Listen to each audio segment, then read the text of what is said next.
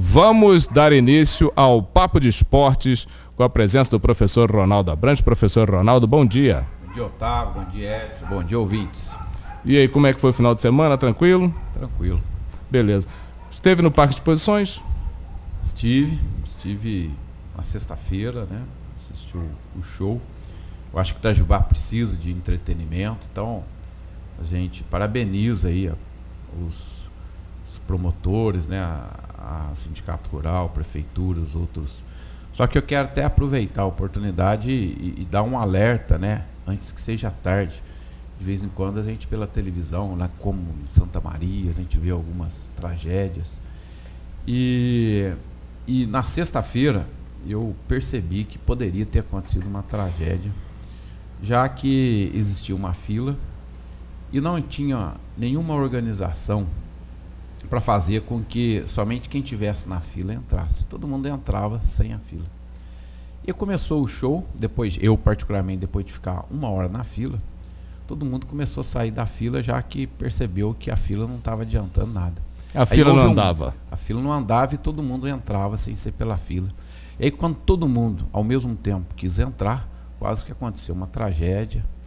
Eu estava com, com as minhas filhas e, e, e realmente senti que por pouco ali, tudo por pequeno detalhe né, de organização, de repente as tragédias acontecem. Pois então, é.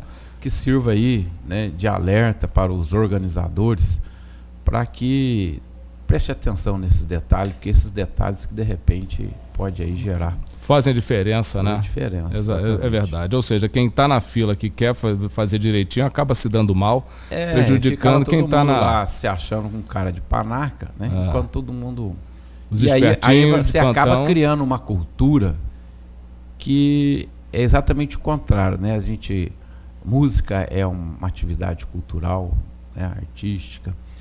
E na realidade o que se estava criando ali é uma cultura de levar vantagem, ou seja, todo mundo percebendo que se não ficasse na fila, levaria vantagem. E é essa é importantíssimo tipo que uma cidade universitária precisa desenvolver. Importantíssima a sua colocação, professor Ronaldo, e eu chamo a atenção mais uma vez do ouvinte, quando se critica, se bota o dedo falando assim, político corrupto, político ladrão, fulano é Exato. é bandalha, vereador é isso, é aquilo. Olha você mesmo, como povo, as suas ações de cidadania, quando estaciona o carro na, na fila, de, na faixa de pedestre, na, na, na, na rampa para cadeira de roda, para cadeirante, você mantém a sua calçada toda arrebentada, prejudicando os, as cadeiras de roda, carrinho de bebê. Você que se acha melhor do que os outros, vai levar vantagem furando fila, para carro na segunda fila e por aí vai. E assim o caminho o Brasil, né, Edson? E a necessidade de, de ter uma fiscalização, porque senão perde-se o controle mesmo. As pessoas vão vendo que a fila não está funcionando. Isso é como o professor falou, é cultural. As pessoas, isso acontece sempre das pessoas quererem passar na frente, furar a fila, furar, furar a fila. É necessário então ter ali a gente para poder organizar e deixar isso falando em tragédia. A gente está vendo isso acontecer direto no futebol. Por exemplo, essa semana agora morreu um, um rapaz lá em, em Pernambuco, uh, em Santa Cruz, uh, no jogo do Santa Cruz.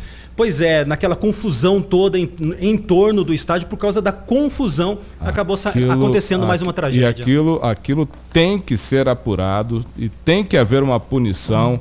Evidentemente não foi um culpado, porque um cara sozinho não, não ia tirar e, um vaso sanitário dentro do banheiro, subir no alto de uma arquibancada e jogar lá de cima o, sozinho. Otávio. Então isso foi uma ação coletiva.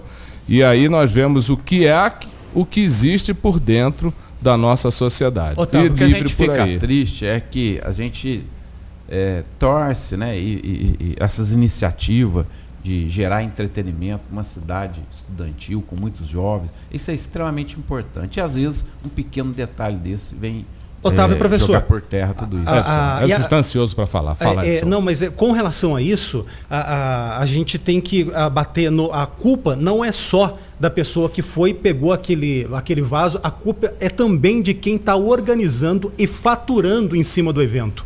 Que deve uh, cobra do torcedor, do organizador cobra do torcedor e tem é obrigado a oferecer segurança para esse torcedor. Vamos pegar aqui rapidamente um exemplo.